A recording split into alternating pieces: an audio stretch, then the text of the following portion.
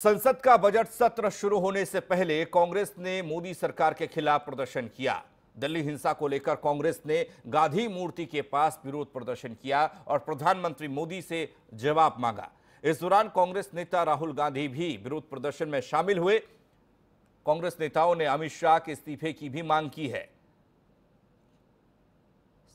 संसद परिसर में कांग्रेस का विरोध प्रदर्शन देखने को मिला गुस्सा। दिल्ली में हुए बवाल को लेकर विरोध प्रदर्शन में राहुल गांधी भी शामिल हुए। अमित शाह के इस्तीफे की मांग, इस दौरान कांग्रेसी कार्यकर्ताओं ने की, सांसदों ने की।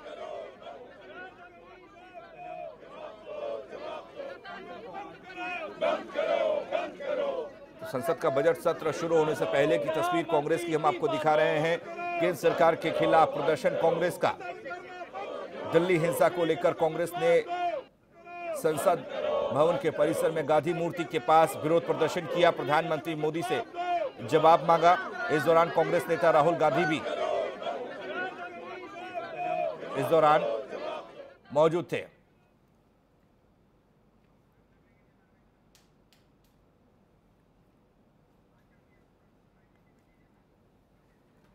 बजट का संसद का बजट सत्र और शुरुआत में ही सदन के बाहर कांग्रेस का प्रदर्शन दिल्ली हिंसा को लेकर।